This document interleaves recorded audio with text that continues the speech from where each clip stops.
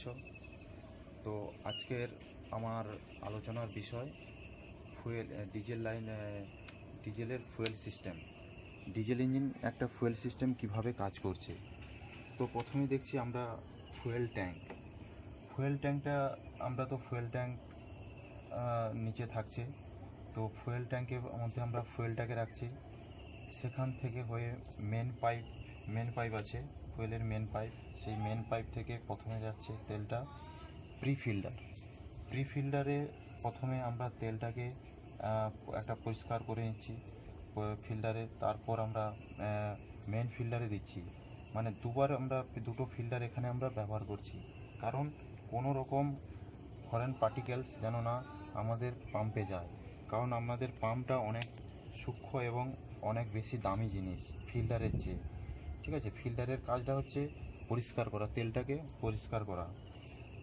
আমরা pre ফিল্টারে clean করলাম, তারপরে মেন ফিল্টারে করলাম। সেখান থেকে হয়ে আবার পাইপের মাধ্যমে আমরা পাঠাচ্ছি। এফআইপি এফআইপির আগে আছে আমাদের ফিট পাম্প ফিট পাম্পের কাজ হচ্ছে তেলটাকে ট্যাঙ্ক থেকে সাকশান করে নেওয়া। কারণ আমাদের তো ফুয়েল ট্যাঙ্কটা একটা অনেক মানে পাম্প যেখানে থাকে, তার চেয়ে অনেক নিচু জায়গাতে থাকে তো। তো বড় ইঞ্জিনের ক্ষেত্রে তো আমরা ফুয়েল ট্যাঙ্কটা উপরে তুলতে পারব না। সেক্ষেত্রে আমরা এই জন্য এখানে আমরা ফিট পাম্প ইউজ করছি। ফিট পাম্পের কাজটা হচ্ছে আমাদের এই তেলটাকে এখানে সাক করে যেটা আমাদের এফআইপিতে পৌঁছে দেওয়া। তো এফআইপিতে পৌঁছে দেওয়ার পরে এফআইপিতে আমাদের টাইমিং যে গিয়ার আছে, সেই গিয়ারের একটা পিনিয়ন লাগানো থাকে এফআইপির অপোজিট সাইডে সেখানটায় সেই অপোজিট সাইডে সেই পিনিয়নটা রোটেট করছে। রোটেট করার সঙ্গে পাম্পটা কাজ করছে এবং পাম্প সেই সেই তেলটাকে প্রেসার দিয়ে হাই প্রেসার পাইপের মাধ্যমে সেটা দিয়ে দিচ্ছে ইনজেক্টর পাইপে ইনজেক্টর পাইপে আমাদের আছে। ইনজেক্টর পাইপে এখানে আমরা ইনজেক্টরে দিলাম। ইনজেক্টরে দিতে এখানে সূক্ষ্ম সূক্ষ্ম যে ধূলিকণার মতো বা কুয়াশার মতো আমাদের কিছু স্প্রে করছে, সেই স্প্রের মধ্যে আমরা হচ্ছে এখানে দহন প্রক্রিয়া চলছে। যত সূক্ষ্ম সূক্ষ্ম আমরা এই স্প্রেটা করতে পারব, তত দহনটা ভালো হবে। সেক্ষেত্রে আমাদের ইঞ্জিনটাও ভালো মানে পাওয়ারটা তৈরি করতে পারবে। এবং সেখান থেকে এখানে হওয়ার পরে কিছুটা তেল আমাদের বাড়তি হয়ে যাচ্ছে। কিছুটা তেল আমরা অতিরিক্ত হয়ে যায়। সেই তেলটা একটা ওভারফ্লো পাইপের মধ্য দিয়ে মধ্য দিয়ে আমরা ফুয়েল ট্যাঙ্কে পাঠিয়ে দিচ্ছি।